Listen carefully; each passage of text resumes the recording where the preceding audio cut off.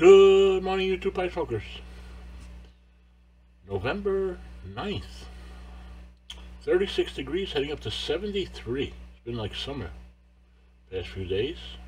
Welcome. Hope you're doing well. Hope you had a good weekend. And I hope you have a great start to the week. Here's your Daily 5. Do nothing by halves. Understand each age limit. Hope exists in everyone. Be adaptable. There is a perfect way to do everything. Be well, stay safe, get outside while you can, and enjoy the weather.